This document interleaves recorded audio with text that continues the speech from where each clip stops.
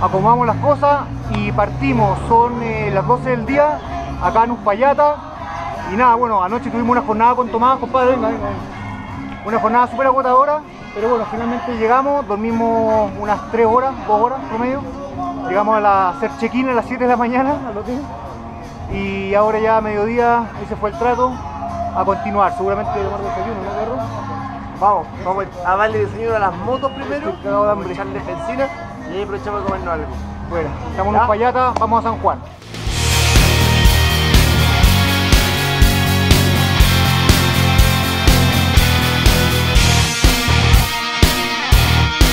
Esta es una edición especial que fabricaron para mí especialmente, que tiene este sistema. Con este tú puedes manipular tu teléfono y cuando tienes frío te protege. Ahí, Seguridad ante todo, comine. en Motomundi.